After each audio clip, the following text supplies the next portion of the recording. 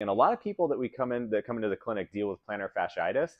Pain at the bottom of the heel can be a really pesky issue to get to go away. I'm going to tell you what not to do with that, and what most people do is they will constantly try and just stretch their calf. Okay, just stretch all day long, all day long. All that's going to do is pull on that Achilles tendon a little bit more, and it's actually not going to get anything to get better. So here's what you want to do. One thing we can do is hop up on a step or a stair at home, do a calf raise, and then very slowly let the heels drop all the way back down into a slight stretch. And then we come back up and you can repeat that for a couple sets of eight to 10.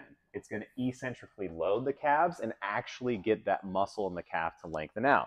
Now, with plantar fasciitis, one of the biggest things with that is it's coming from tension in the calf that's pulling on the heel. So one of the big things we can do for that as well is hop down, put a lacrosse ball underneath the calf, scan the area for tight points. When you find it, stay on it. If you need more pressure, apply pressure with the other leg.